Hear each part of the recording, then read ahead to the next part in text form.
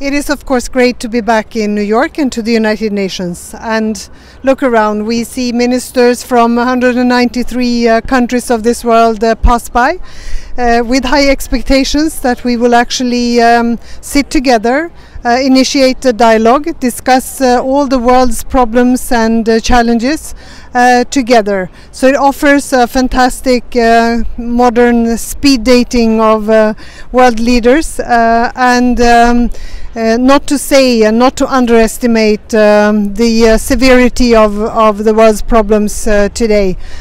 We will, as Sweden, in this context, of course, defend our basic priorities and values that have to do with doing more of conflict prevention, um, but also defend international uh, humanitarian uh, law